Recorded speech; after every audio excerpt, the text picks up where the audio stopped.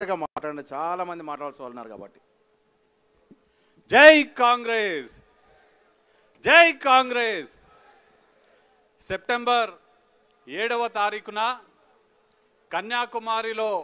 ప్రారంభించి నూట ముప్పై ఆరు రోజులు మూడు వేల తొమ్మిది వందల డెబ్బై కిలోమీటర్లు దేశంలో ఉన్నటువంటి డెబ్బై ఐదు జిల్లాలు డెబ్బై ఆరు లోక్సభ నియోజకవర్గాలు పర్యటించి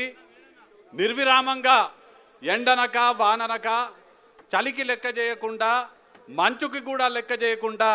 మన నాయకులు రాహుల్ గాంధీ గారు లక్షలాది మంది దేశ ప్రజలను కలుస్తూ చేసినటువంటి భారత్ జోడో యాత్ర కొనసాగింపుగా కాంగ్రెస్ పార్టీ తీసుకున్నటువంటి నిర్ణయానికి అనుగుణంగా మల్లికార్జున్ ఖార్గే గారి నేతృత్వంలో దేశవ్యాప్తంగా రాహుల్ గాంధీ గారి సందేశాన్ని దేశంలో ఉన్నటువంటి ప్రతి గ్రామానికి చేరవేయాలనే ఉద్దేశంతో ప్రారంభమయ్యిందే ఈ హాత్ హాత్ జోడో అభియాన్. ఈ హాత్ హాత్ జోడో అభియాన్లో భాగంగా దేశవ్యాప్తంగా అన్ని గ్రామాలలో కాంగ్రెస్ పార్టీ నాయకులు కార్యకర్తలు రాహుల్ గాంధీ గారి సందేశాన్ని ప్రతి గడపకి తీసుకెళ్ళే ప్రయత్నం చేస్తుంటే మన రాష్ట్రంలో రాష్ట్ర అధ్యక్షులు రేవంత్ రెడ్డి గారు ములు మన ములుగు నుంచి ప్రారంభించి చేసినటువంటి ఈ యాత్రకు వస్తున్నటువంటి స్పందన మనందరం కూడా చూస్తున్నాము. వారికి హృదయపూర్వకంగా అభినందనలు తెలియజేస్తూ వారే కాదు పదహారవ తారీఖు నాడు సిఎల్పి నాయకులు బట్టి విక్రమార్క గారు యాత్ర ప్రారంభించబోతున్నారు. అలానే అనేక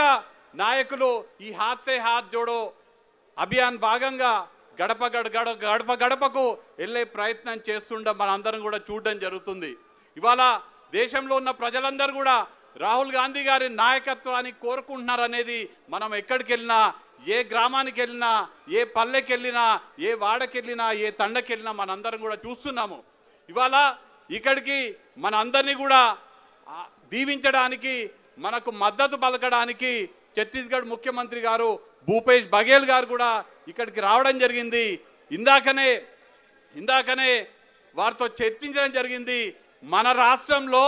అధికారంలోకి వస్తే ఏ యువకులైతే తెలంగాణ ఉద్యమంలో కీలకంగా పాలు పంచుకొని ప్రాణ త్యాగాలు కూడా చేసి తెలంగాణ రాష్ట్రాన్ని సాధించుకున్నామో ఆ యువకుల కోసం ఉద్యోగాలు ఇస్తా అని చెప్పి అలానే నిరుద్యోగ భృతి ఇస్తా అని చెప్పి మోసం చేసినటువంటి కేసీఆర్ ఇవాళ ఒకసారి ఛత్తీస్గఢ్ రాష్ట్రంలో మా ప్రభుత్వం కాంగ్రెస్ పార్టీ అధికారంలో ఉన్నటువంటి రాష్ట్రంలో ఏ విధంగా నిరుద్యోగ భృతి రెండు వేల ఐదు వందల రూపాయలు మేము అనౌన్స్ చేసినామో ఒక్కసారి కేసీఆర్ గారు ఇక్కడికి వచ్చి చూడాలని ఈ సందర్భంగా తెలియజేస్తూ ఇవాళ మనం చేస్తున్నటువంటి ఈ హాత్ సే హాత్ జోడో అభియాన్ తెలంగాణ రాష్ట్రంలో